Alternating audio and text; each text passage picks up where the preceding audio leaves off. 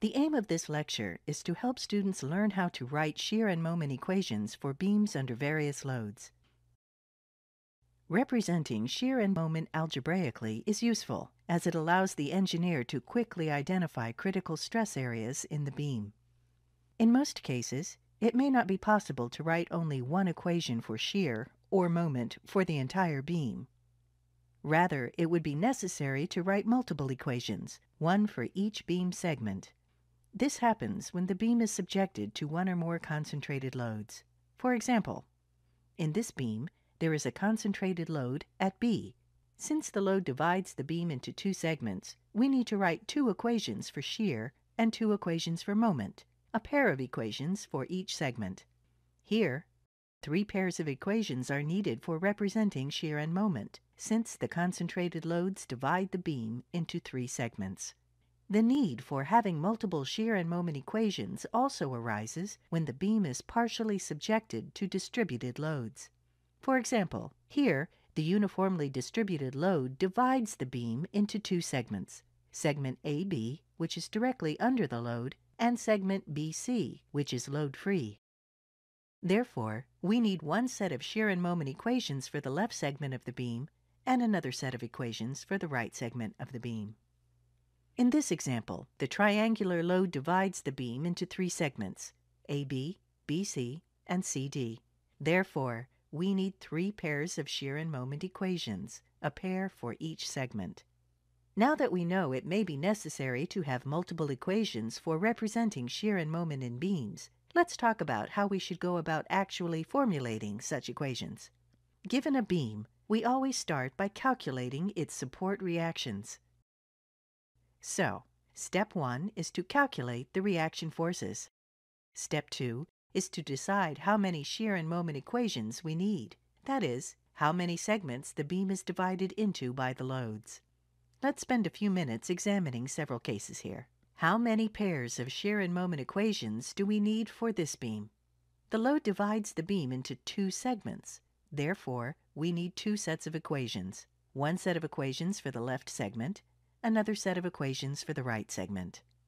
Here, the load does not divide the beam into multiple segments as it is applied at the tip of the beam. Therefore, we only need one shear equation and one moment equation for the entire beam. Here, the loads divide the beam into three segments. Therefore, three pairs of shear and moment equations are needed. From these examples, it may appear that the required number of shear equations is equal to the required number of moment equations, but that is not necessarily true. We would have loading patterns that make the required number of moment equations more than that of our shear equations. Consider this beam. It is subjected to a concentrated moment at its midpoint. This causes a sudden drop, a discontinuity, in the beam's internal bending moment at the point. Consequently, Two equations are needed for representing moment in the beam. We need one equation for the left segment up to the point of discontinuity. We need another equation for representing moment past the point of discontinuity. However, the concentrated moment does not cause any abrupt change in shear. Therefore, we can represent shear in the beam using a single equation. So let's summarize what we have so far. To write shear and moment equations, first, we calculate the beam's support reactions. Second, we determine the number of segments that the beam needs to be divided into for the purpose of formulating shear and moment equations. Now let's talk about the third step. In this step, we are going to cut the beam in each of the identified segments at some distance, say x, from the left end of the beam. For example, if this is our beam, we are going to cut it twice, once in segment AB and once in segment BC. Note that the distance from the left end of the beam to the cut point is labeled x in both cases. Then, we draw the free body diagram for each segment. The fourth step is to formulate the equilibrium equations for each segment, then solve them for the unknowns. Here, the unknowns are the shear and moment values at the cut point. Let's go through this process using a simple example. Consider this simply supported beam which is subjected to a concentrated load of 10 kilonewtons. The load is applied 4 meters away from the left end of the beam. We wish to formulate the shear and moment equations for the beam. Step 1. Find the support reactions.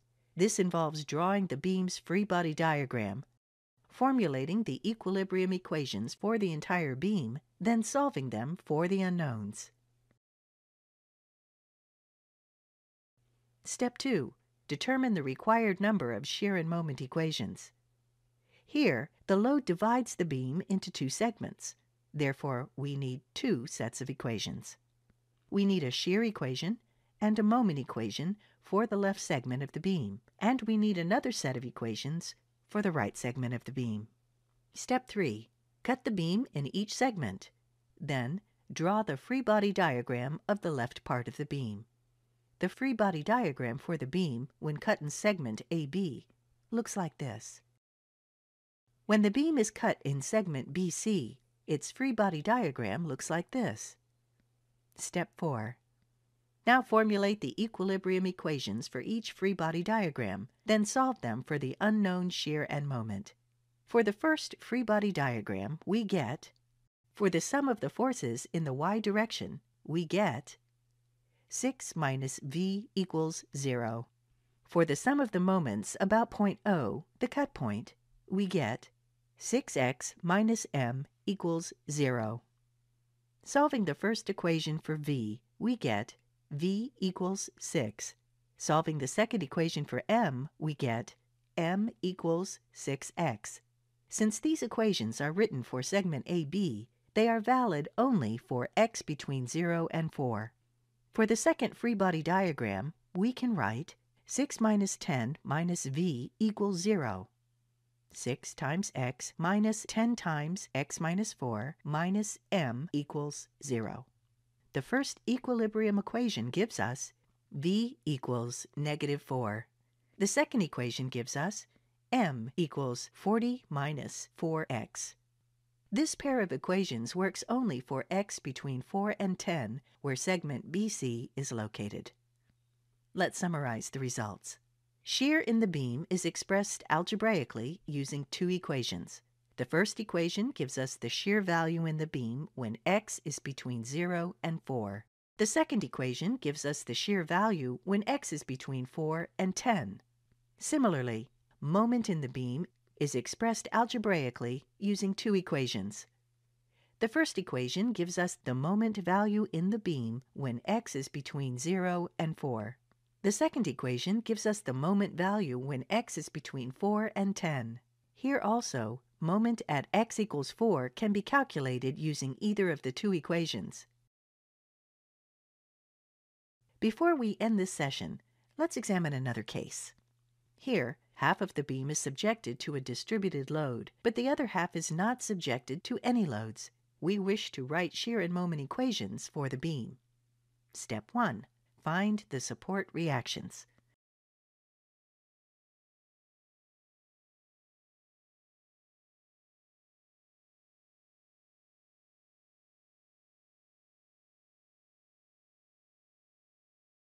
Step 2. Determine the required number of shear and moment equations. Just like the previous example, here the load divides the beam into two segments, AB and BC.